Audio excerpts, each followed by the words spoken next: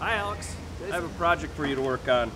I need you to fabricate and weld four weld fixture pedestals for the new dolly robot. This is the print. Okay, based on the prints, I see the main structure is constructed of tubing.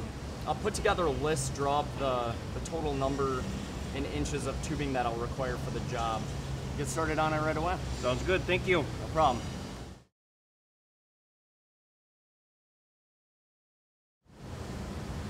Okay, I found based on the print that for each riser I need four 18 inch leg tubes, four 14 inch cross braces, and four 13 inch cross braces. Uh, based on all of that, I found that I have 180 inches of tubing required for each riser and 720 inches to complete all four. Tubing comes in long lengths of 20 feet. My print is in inches, so I'll need to convert feet to inches to come out with the same units.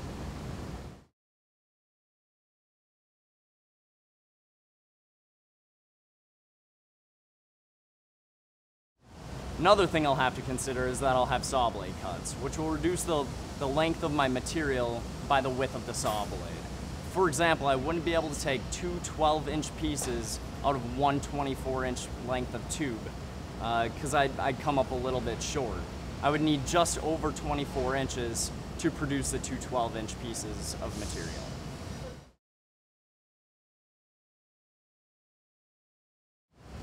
There's 240 inches in every 20 foot length. With 720 inches needed, that will be three full lengths of tubing. Now, because we'll lose a bit of material with each saw blade cut, I will need to use four tubes to complete the project.